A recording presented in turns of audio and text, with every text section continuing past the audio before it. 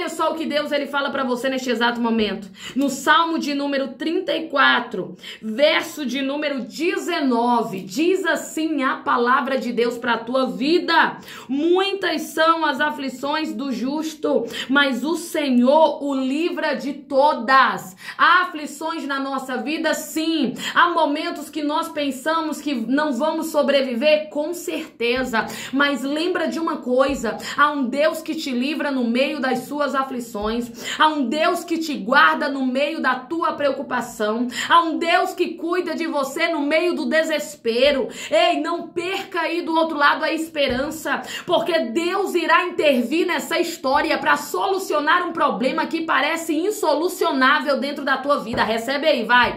Deus vai trazer a solução para algo que parece insolucionável e você verá que é Deus te livrando desta aflição. Você crê? Então declara: Deus está falando comigo.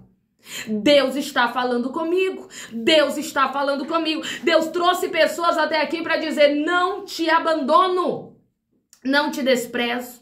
Não te rejeito. No meio das aflições que você tem vivido, no meio das situações que você tem passado, sou contigo. O inimigo fica tentando te convencer que você não vai sobreviver a tudo isso, que é melhor você se render. O inimigo fica tentando te convencer que nem Deus está preocupado com você. É porque pessoas estão te ignorando ao máximo. Pessoas estão, sabe, até, até mesmo só esperando momento que as coisas vão dar completamente errado na tua vida e que você vai sucumbir, você vai fracassar, você vai cair para não mais levantar. Porém, Deus manda dizer para você: você não está sozinho. Recebe aí, vai. Você não está desamparado. Você não, papai tá dizendo que ele vai te restabelecer de novo. Você crê nisso? Declara, eu creio nessa palavra. Você será restabelecido pela mão de Deus. Deus trouxe você até aqui para dizer: você será restabelecido.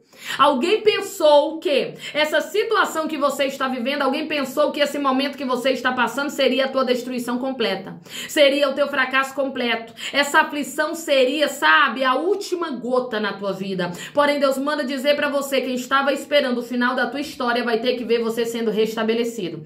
Quem estava esperando a tua queda total vai ter que ver você sendo reerguido. Quem estava esperando você, ei, desistir de tudo, vai ter que ver o teu Deus te levantar levantar num estado muito melhor do que o primeiro, porque Deus manda dizer que a glória da segunda casa na tua vida muito maior será. Você crê? Você crê nessa palavra? A glória da segunda casa será maior do que a da primeira, é o que Deus manda dizer para você. Deus está cuidando de você no meio dessa aflição. Deus está cuidando da tua vida no meio dessa adversidade. Não desiste agora, porque o teu amparo ainda é o Senhor. Você crê? Recebe.